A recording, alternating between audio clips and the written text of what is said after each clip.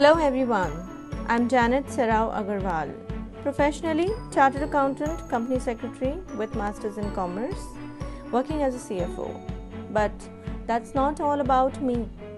I'm a traveler, blogger, a poet, a fashion designer, a pro runner, social worker, winner of a beauty pageant, wife, daughter, and mother as well. With all of these roles that we play in personal and professional lives, we see so many challenges all around us. Therefore, I'm coming with Soapbox Talks, Facebook Live, Thursday, 7 pm, talking to you about Challenge the Challenges. Stay tuned.